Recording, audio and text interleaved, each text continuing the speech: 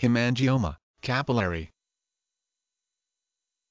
Hemangioma, capillary, a type of hemangioma a benign tumor formed by a collection of excess blood vessels that is composed almost entirely of tiny capillary vessels. Capillary hemangiomas may be located anywhere on the body but they are most common on the face, scalp, back, and chest. They may be evident at birth or become noticeable several weeks later. They usually grow quickly, then remain fixed in size and, with time, subside. The vast majority are gone by age 10. No treatment is needed. Capillary hemangiomas go by a number of different names including strawberry hemangiomas or strawberry marks and salmon patches. Source MedTerms Medical Dictionary http www.medicinenet.com slash script slash main slash art.asp question mark articlekey equal to 1006 Last editorial review September 14, 2016.